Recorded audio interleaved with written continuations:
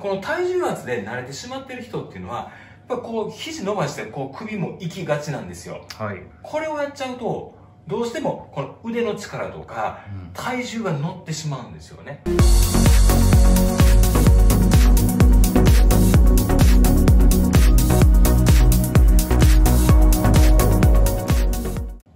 セラピスト歴は関係ない。はいガチガチ専門代表の下川です。よろしくお願いしおます、願いしますはい、えー今日はね4種類の圧の使い分けについてお話ししたいと思います。はい。実は圧。うん。圧ね、圧。押す圧。圧。圧。の種類って4種類ある？4種類。っていうことを僕は常々言ってるんですけども、はい。順分かりますよね。一つ目からいきましょはい。指の圧。うそう。指で押し込む圧とはい。手首で押し込む圧。そう。プラス指力とプラス手首も入れる圧とはい。プラス、えー腕。そうやね。この腕の力。腕の圧力。うん。と？プラス体重の圧力です。そうですよね、はい。その4段階があるんですよ、はい。4段階。でこれを使い分けるメリットをまずお話ししたいと思うんですけども、はい。不快な重さ重重苦しさのないうん。効いている感の提供が必要になるじゃないですか。はい。ね。それをするためにはやっぱこのうん。4種類の圧を使い分けなければいけないんですよ。はい。なぜかっていうとやっぱりその効率よくほぐすためにはうん。重苦しさ。はい。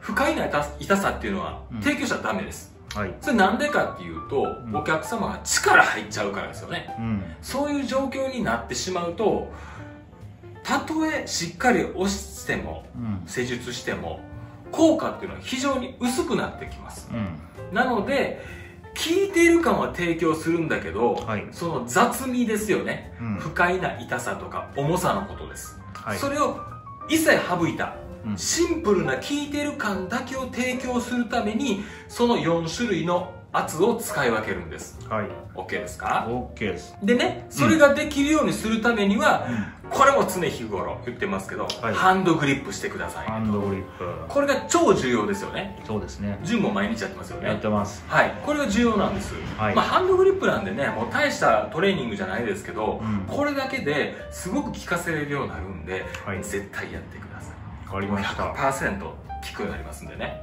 はい。で実際に、うん。ちょっとこっち来てください、はい。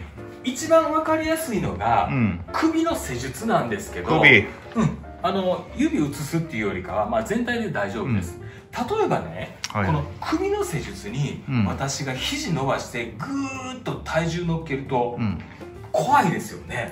痛いですね。非常にその事故も起こしかねないし、うん。お客様も絶対重苦しいし怖いはずなんです。はい。それはなぜかっていうと不要なうん。重さがついてきてるからなんですよ。はい。ね、やっぱこの体重圧よりも当然指力指圧の方がうんスンと入っていくっていうのはイメージできますかね？できます。ね。だからその狙った筋肉だけに圧を届けるためにはやっぱ首っていうのは指の力だけでグッと効かせにいきます。はい。で本当にガチガチな首の人もいらっしゃるじゃないですか。はいはい。いねね。そういう人に対しては指力だけではうん。効かないので、うん。次どうするんですか潤手首を入れる。そういうことよね。うん。そうそう。指もグッと入れてるんだけどさらに手首をグッ入れながら圧を入れていくとさらに強い圧を届けることができるんですよ。はい。そうやって、まあ、部位ごとに使い分けるとか、うん。そのお客様の凝り方によってうん。え雑味のない効いてる感を提供する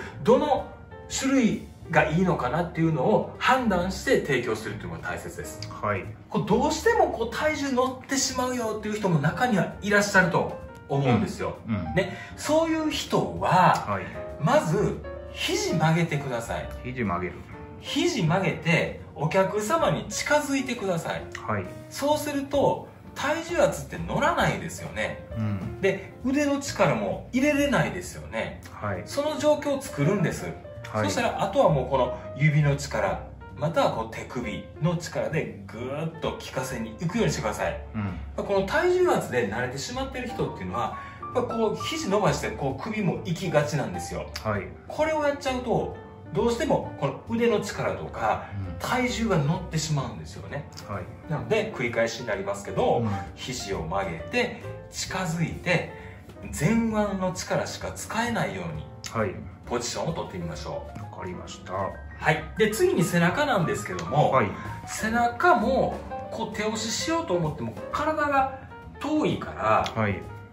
こう乗り乗るじゃないですかうん。ポジション的にこうやってしまうとさっきの話と同じでうん。体重が乗っかりますはい。乗っかっちゃいますはい。うんで硬い人結構背中は多いんで、うん。それでも全然問題はないじゃないんですけど、うん。でも細身のガチガチさんっていらっしゃるじゃないですか。はい。ね、そういう人に対して僕みたいなねちょっとがっしり体型の人がグーッと乗っていくとやっぱり苦しいんですよ。はい。ってなるとうんと力入れちゃいますよね、うん。お客様は、うん。そうなったら施術効果っていうのが全然出てこなくなってくる。はい。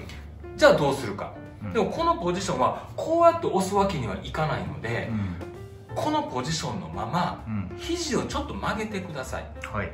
これによって不要な体重圧はここで逃げていきますはい。ね、あとは指力と手首力、うんこれで十分効くんやったらこれで十分ですよねうん。体重圧もうふわっとちょっと乗っかってますけどもはい。う知れてますこんな体重圧ねそうやって体重圧を逃がす使うっていう風にうん。